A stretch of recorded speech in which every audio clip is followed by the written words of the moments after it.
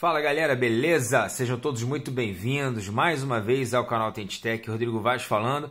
Tenho hoje um unboxing para vocês aqui desse fone de ouvido da Xiaomi, é o top de linha deles, da linha TWS, que é o True Wireless, é o fone AirDots Pro TWS.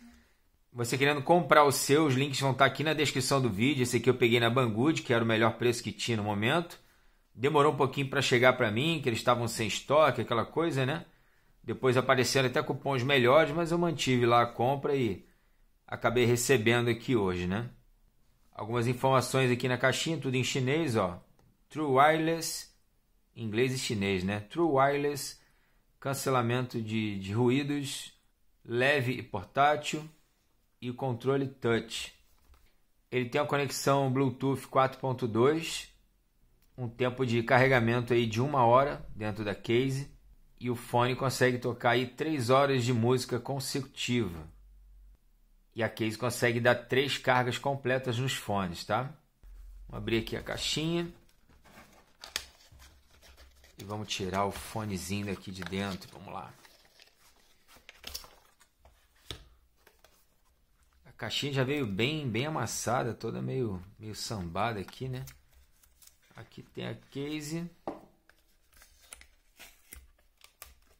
Aqui os dois fones. Eu achei grande esse fone. Compridão ele, esticado, né? Vou botar depois para mostrar para vocês. Aqui vem o cabinho USB tipo C para carregar a case, legal. Aqui as borrachinhas sobressalentes. Aqui está o manual dele todo em chinês e inglês. Está aqui em inglês. Tudo bem explicadinho, detalhado, tá bom? Bacana, show.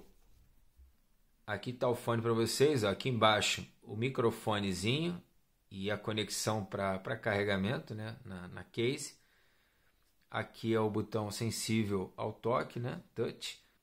Aqui o sensorzinho que reconhece quando você coloca e retira do, do seu ouvido e aqui deve ser o microfone redutor de ruídos, tá? Vou comparar ele aqui com o Huawei FlyPods, né, que é o que eu uso também bastante, gosto de usar ele. Tá aqui, ó, ele é maior, né, um pouco, né? É um design diferente também, mas ele é maiorzinho, né, mais mais comprido. Acho que até pelo formato desse palitão aí fica meio não sei, vamos ver. Aqui o Pamu esse sim eu gosto de usar, uso ele todo dia. Ele é mais discreto, menorzinho. Olha aqui a diferença dos dois, ó. Tá vendo? É quase que o. Não vamos botar o dobro, não, mas é 50% maior do que o Pamu. A, a caixinha dele aqui é, do Pamu é maior, né? Mas a extensão dele ele é bem mais comprido. Aqui nós temos a case dele.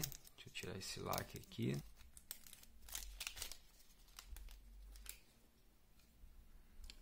É uma casezinha até bonita, tá?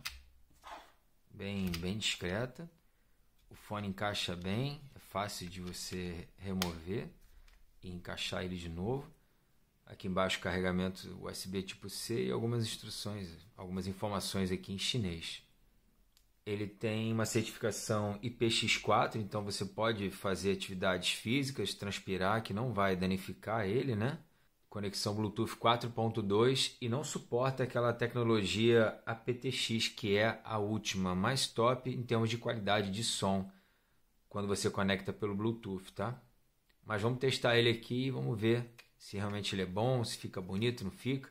Aqui tem o botão de, de pareamento, né? Para você clicar aqui e ele já parear. Para você ativar e desativar o Bluetooth dele aqui, tá? Mantendo pressionado.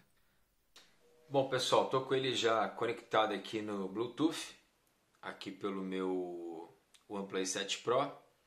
Deixa eu abrir para vocês aqui, ó. Já tá aqui, Mi True Wireless, tá vendo? Airphones. Já está conectado aqui. Vou abrir aqui o, o Spotify e vamos aqui aos comandos dele. Um toque de um lado direito ou esquerdo, você atende e encerra chamadas, tá? Dois toques do lado direito, ele dá play e pause na música. Ó, começou a tocar agora aqui, dois toques.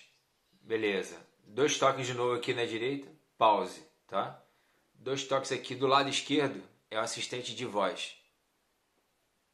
Tocar música.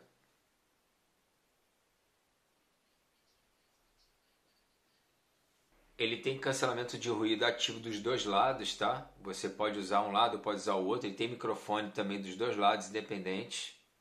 E as funções que ele tem são só essas, tá? É play, pause, atender e desligar chamadas e chamar assistente de voz. Só isso. Ele não tem mudar música para frente, voltar música, não tem aumentar ou baixar volume. Tudo isso você faz utilizando assistente de voz, mas é mais prático se tivesse a função direto aqui. Eu tô com a mão nos sensores aqui para poder tocar a música e eu mostrar para vocês aqui, tentar aproximar o som para vocês sentirem a potência. Deixa eu ver o microfone aqui onde que é. É aqui, vamos lá. Acho que dá para ouvir aí, né? Pode ter uma qualidade muito boa de som, um grave muito bom também. Eu só achei essa barbatana dele muito grande, cara. Eu achei ele um fone muito grande. Eu soltei aqui, ele deu pause de novo. Eu achei isso aqui muito grande, o corpo dele, a extensão dele, sei lá, desnecessário. Deixa eu pegar o, o Pamu aqui para vocês verem. O tamanho dele, como é que ele é bem mais discreto, ó. Deixa eu colocar ele aqui. Ó, olha a diferença de um lado e do outro. É bem grande, bem grande, bem grande. Se eu tirar ele aqui e botar ele na, na case, ele já vai reconhecer que eu estou usando um lado só, tá? Então, agora ele reconheceu que eu estou usando só o lado esquerdo. Então, se eu der dois toques aqui, ó, é play pause, tá? É uma boa opção, tá? Porém, para mim, que já testei outros fones aqui, é, as funções que ele tem são um pouco limitadas, são um pouco restritas ao meu ponto de vista, tá? Você tem outras opções mais completas que fazem mais funções, né? Tem mais utilidade para você também no meu, na minha opinião, mais bonitos, mais discretos um pouco do que ele, mas a qualidade de som dele é muito boa, tem graves muito bons, o som é bem limpo, muito muito bem definido, tá? A casezinha dele também é bem discreta, você consegue levar, botar no bolso tranquilo. Tem uma autonomia de bateria muito boa, você consegue usar o fone o dia todo se tiver com a carga da case completa ele não, não solta né, do, do, do, ouvido, você pode fazer exercício, sacudir, mexer de um lado para o outro, ele não vai cair, não, não vai soltar, tá? Foi isso então, pessoal. Espero que vocês tenham gostado. Fiquem todos com Deus. Tamo junto, um forte abraço e até a próxima. Valeu!